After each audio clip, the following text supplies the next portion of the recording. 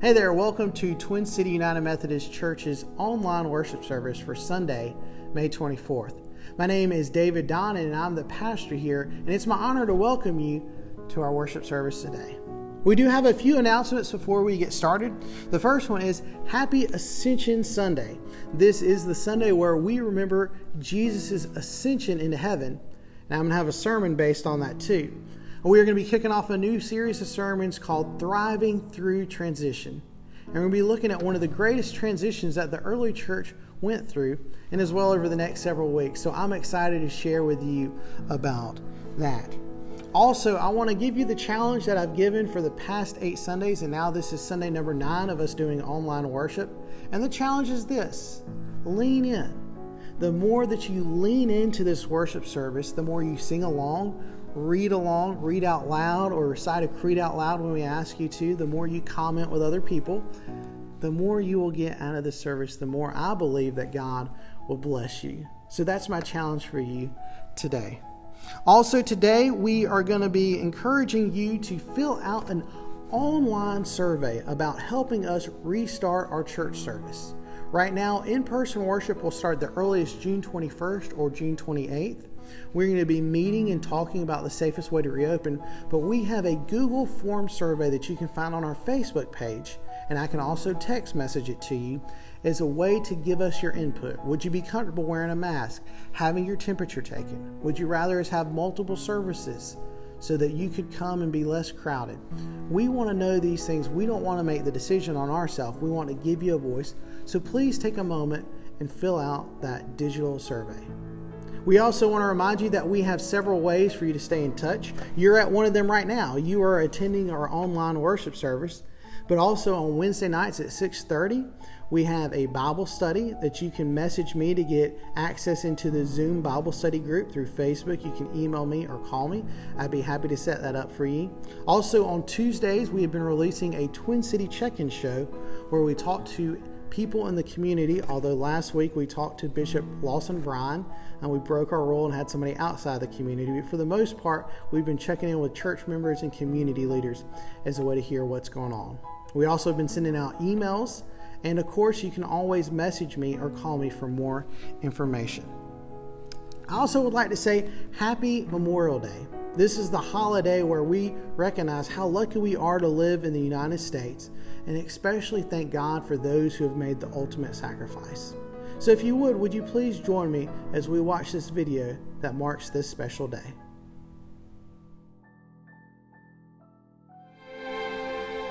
On this day, we remember.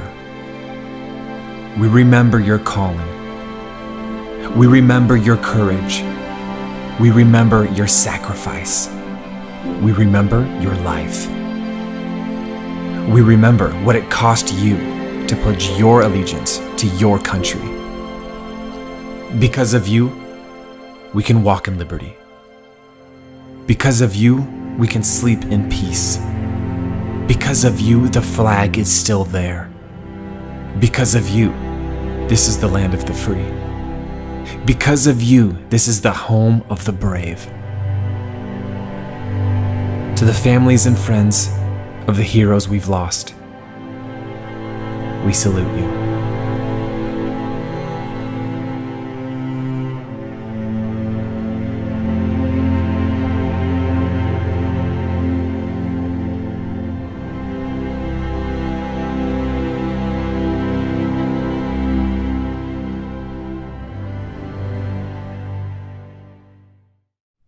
Well, we give thanks to God for the very important sacrifice that people made so that we can enjoy the freedom and privileges that we have here.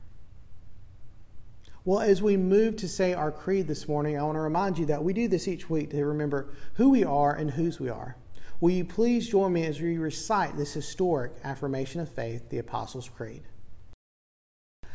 I believe in God, the Father Almighty, maker of heaven and earth and in Jesus Christ, his only Son, our Lord, who was conceived by the Holy Spirit, born of the Virgin Mary, suffered under Pontius Pilate, was crucified, dead, and buried. The third day he rose from the dead. He ascended into heaven and sitteth at the right hand of God the Father Almighty. From thence he shall come to judge the quick and the dead. I believe in the Holy Spirit, the Holy Catholic Church, the communion of saints, the forgiveness of sins, the resurrection of the body, and the life everlasting. Amen. Well, as we prepare our hearts for our morning time of prayer, I want to encourage you to thank God today for those who have made the ultimate sacrifice. Would you pray with me? Heavenly Father, we thank you for the privilege to live in the United States of America, to live in a time when it is the greatest superpower, to live in a time where it is a beacon for freedom and democracy, for fairness and acceptance. God, we ask that you would help us to remember the great privilege that we have to live here, and we ask that you would continue to bless our land and help us to be a nation that doesn't just live and operate for our own glory, but helps other nations and is a blessing to them. God, we also pray for ourselves this morning. We ask that you would help us from the things that separate us from you. Help us to walk in your ways and reflect your glory in this world. God, as we start this new week, as we head towards the end of this month, we ask that we may finish the month of May strong, that we may be a reflection of your love in this world. Help us this upcoming week with all the trials and tribulations that we face. Help us to walk in your ways. Help us to love you and love others. We pray this in Jesus' name, and we pray the prayer that he taught his followers Our Father, who art in heaven, hallowed be thy name. Thy kingdom come, thy will be done, on earth as it is in heaven. Give us this day our daily bread, and forgive us our trespasses, as we forgive those who trespass against us. Lead us not to temptation, but deliver us from evil. For thine is the kingdom, and the power, and the glory, forever and ever. Amen. Amen. Well, this is the part of the service where we talk about the offering. Now, we are not putting a pause on worship to talk about the offering. We believe here that faith and finances and worship are all tied together. So, if you are able to during this time, would like to continue tithing or giving to the life change and ministry that's happening here, you can mail a check to P.O. Box 6, Twin City, Georgia 30471. Or if you would like, you can give safely and securely online. We have been blessed by the South Georgia Annual Conference with this online giving platform while we are meeting online. If you're somebody who is not able to give, though, because you have no income, then you have nothing to worry about. And if you need assistance or know somebody who needs assistance, please let us know. We are here to help. Thanks. Well, it's another week down, and we once again have seen our world change a little bit. We've seen now for the sixth time in a row that we have had a tropical storm named a named storm before even the start of the hurricane season. We sadly see how the death toll, with our hopes thinking it could be close to 80,000, is now inching closer to 100,000. We have seen how the Federal Reserve Chair has said that it looks like unemployment will continue to rise at least for a couple of months and that the economic recovery will be uneven at best throughout most of the year. Interesting also, he said that those who are making the least are hurting the most. Out of people who make under $40,000 a year, 40% of them are unemployed. We also have questions as we get back to preparing worship services, preparing in person worship we are wondering in this changing world should we require people to wear a mask? And if we do, who's going to enforce it? Because it's not going to be me. We are asking should we continue to sing as part of our in person worship, even though it looks like there's at best some anecdotal evidence that singing has made several people sick from choir practices who have tried to social distance and people get sick in church services where people get sick? Should we have multiple church services in which we have an earlier time where people with um, an immune compromised system are able to come and worship, and then a later time for other people? Should we worship inside or outside where there could be more sunlight and a higher humidity to hold down any germs in the air? I don't know about you. I'm just ready to get back to normal. I'm tired of this. And while my hardships have been light compared to some very serious problems that people are running into, I am just overwhelmingly ready for life to get back to normal. But what if there's not going to be a back to normal for a while? What if we are stuck in this time of transition? How will we adjust? Today, we are starting a new series called Thriving Through Transition. And we're going to be looking at some of the turning points in the past Easter story and to the start of the early church. What are some things that happened as they were going through this great transition? And what can it tell us, the church today, about how we can live through the transitions we are going through. If you have your Bibles, you can turn to the book of Acts. We're going to look at chapter 1, verses 1 through 11. And we are going to see maybe the greatest transition after the resurrection on Easter Sunday for the early church. Definitely up to this point, it is the greatest transition. You see, Jesus had been appearing to his disciples, he had appeared to the 11, he had appeared to some of them while Thomas was out, he appeared to them while uh, they were fishing. He appeared to around 500 people at once. And all this occurred over about a 40 day span. And during these appearances, there was some interesting things where even though the doors were locked, that Jesus would come and stand among them, but he wasn't a ghost because he ate and he said, Touch me, and invited them to put their hands inside of his wounds. It was an interesting time of great transition and many transitions. Jesus' death and resurrection. And the disciples during this time have shown that they are overwhelmed with what is happening.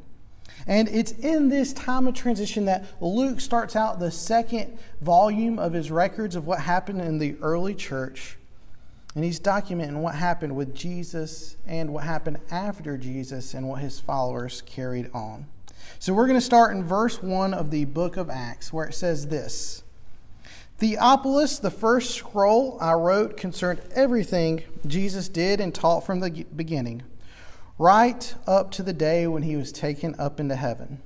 Before he was taken up, working in the power of the Holy Spirit, Jesus instructed the apostles he had chosen. After his suffering, he showed them that he was alive with many convincing proofs, and he appeared to them over a period of 40 days, speaking to them about God's kingdom. While they were eating together, he ordered them not to leave Jerusalem, but to wait for the Father, for what the Father had promised. He said, This is what you heard from me. So this is Jesus talking. He said, John baptized with water, but in only a few days you will be baptized with the Holy Spirit. So, Dr. Luke has set up the scene. Jesus has been meeting with his followers, and he continues to preach heavily about this the kingdom of God. And it seems that his disciples have a different kingdom in mind because check this out. In verse 6, even though they've heard about how the kingdom is coming, verse 6 says this as a result, those who had gathered together asked Jesus, Lord, are you going to restore the kingdom of Israel now? Are you going to restore the kingdom of Israel now? They wanted to know was Jesus about to overthrow the occupying forces in their land, the Roman army? Okay, Jesus, you, you've died. You've shown that you have power over death with your resurrection. Now it's time for us to reestablish Israel as the most mighty nation. They were thinking in very nationalistic terms, they were thinking Israel first. So, what does Jesus say? Is it time for this country to rise? Jesus replied, It isn't for you to know the times or the seasons that the Father has set by his own authority Rather, you will receive power when the Holy Spirit comes upon you. And you will be my witnesses in Jerusalem, in all Judea, in Samaria, and to the ends of the earth. So instead of talking about how to make Israel first, he reminds them of the global scope of ministry. Jesus says, You are going to spread the message in Jerusalem, Judea, Samaria, and then to the ends of the earth. With the implication of the message of salvation going all the way even to the Roman oppressors. Now, if you are someone who thinks of putting your country first, I do not fault you. We are actually wise to consider our country and what is best for it, especially as we are thinking through the troubles we've had during this pandemic as far as making our supplies in our own country, even if it's of greater cost because we may be in an emergency situation and other countries may be too, and it would be nice to have our own supplies. And especially on a weekend like we are celebrating this weekend, remembering those who made the ultimate sacrifice, putting your country first, I do not think is a bad thing. So, if you are a first century Jewish person and you want to say Israel first, that's fine. If you want to say America first today, I will probably join you in many regards. But if we fall into the trap of saying America only, we are outside of the kingdom of God. As Jesus tells his followers, our calling is bigger, the message is bigger, our witness must be bigger than our own little tiny area. So, in the middle of this, this kind of instruction that Jesus is giving them, uh, reminding them about their mission in the kingdom, something crazy starts to happen. Look at verse 9. After Jesus said these things, as they were watching, he was lifted up, and a cloud took him out of their sight. You see, this right here is a dramatic climax to all of Jesus' after Easter appearances. By going into the cloud, I don't know if it was just a really dark cloud or a really uh, bright cloud or what type of cloud it was, but we know through biblical images in the Old Testament that the cloud is God's presence. That when Jesus went up onto the mountain and was transfigured in front of his disciples, that there was this cloud that represented God's presence there. And out of all the post resurrection encounters with Jesus, there is no reference to this cloud taking Jesus away. This was something special for the last time they would see Jesus. And this is why we say in our creeds that Jesus sits at the hand of the Father Almighty. So, a huge transition has just happened. Jesus has gone to sit at the Father's hand. So, now what? Do we go fishing? Do we get regular jobs? Uh, do we over do we ourselves try to overthrow the Romans? Do we wait for the economy to get better? Do we wait on a vaccine?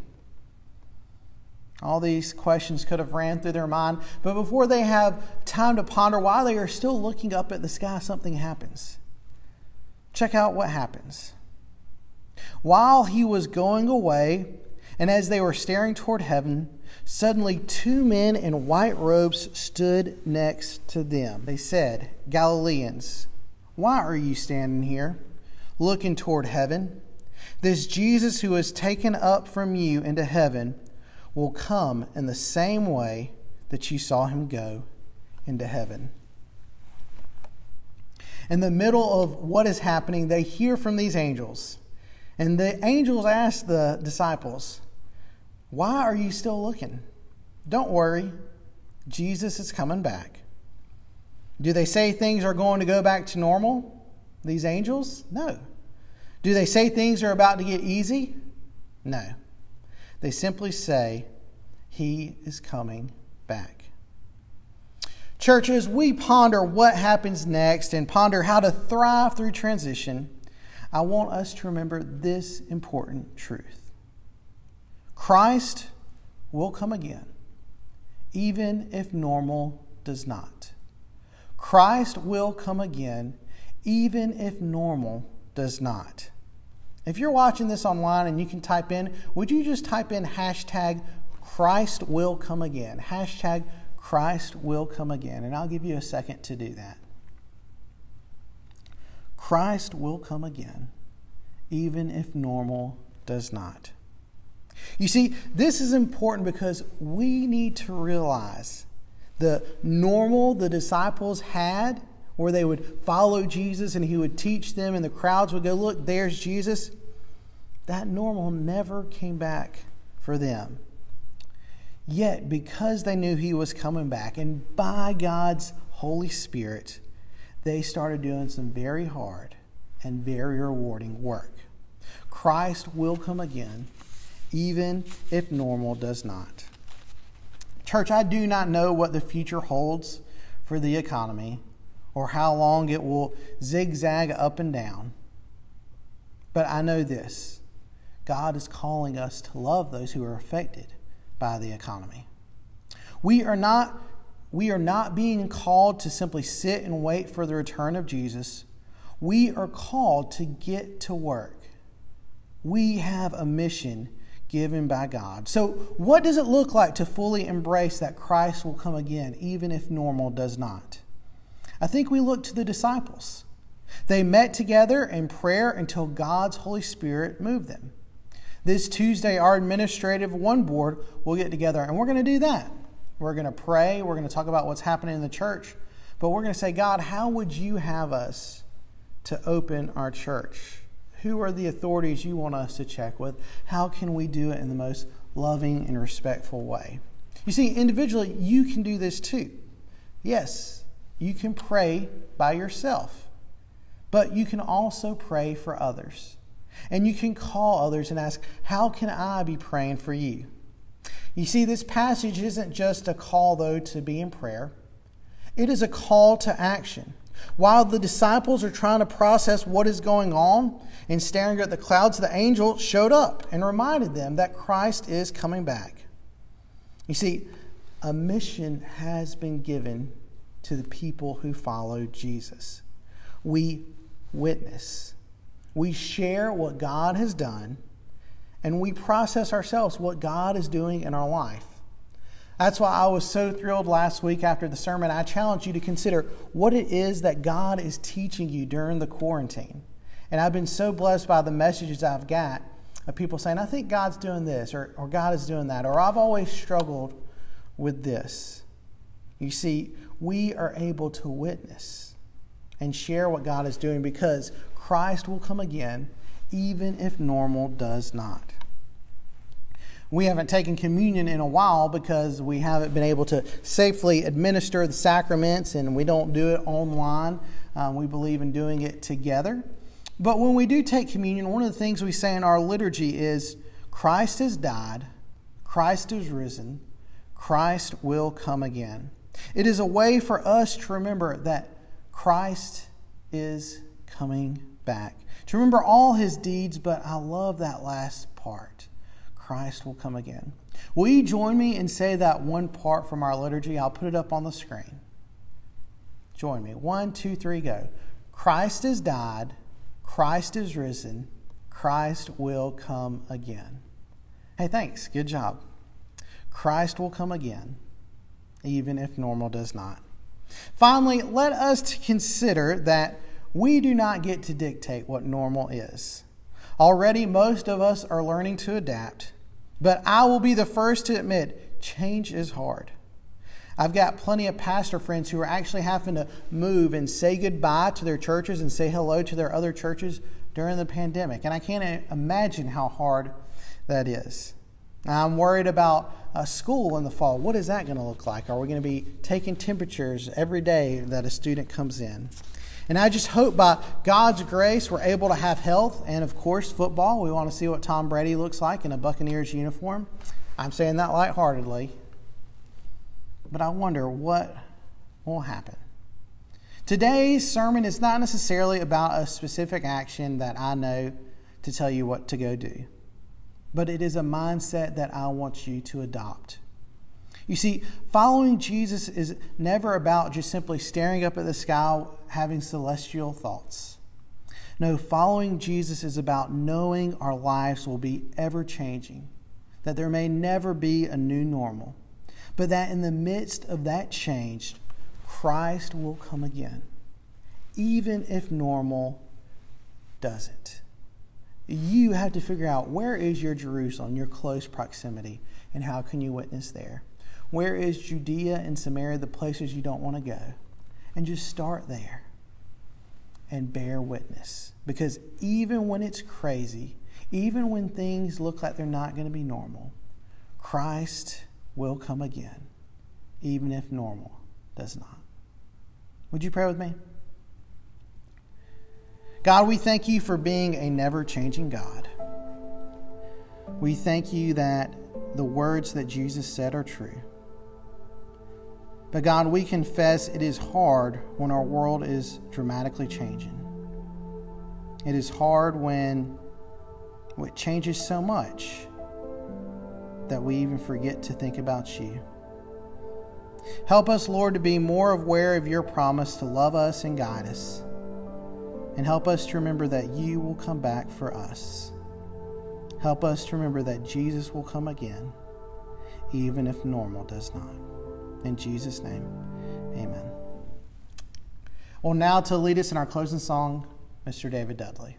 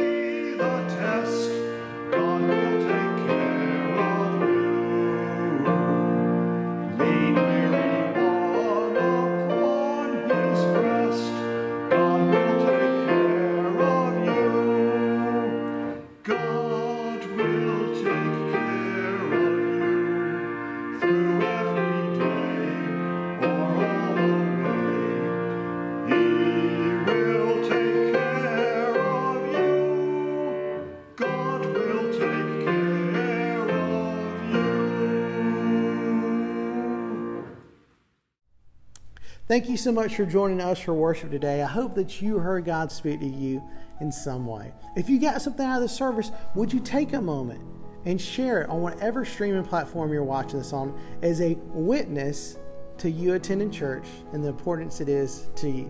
Would you receive this benediction? Heavenly Father, as we go from this place, may your grace go before us and your face shine upon us. In the name of the Father, and the Son, and the Holy Spirit, we pray. Amen.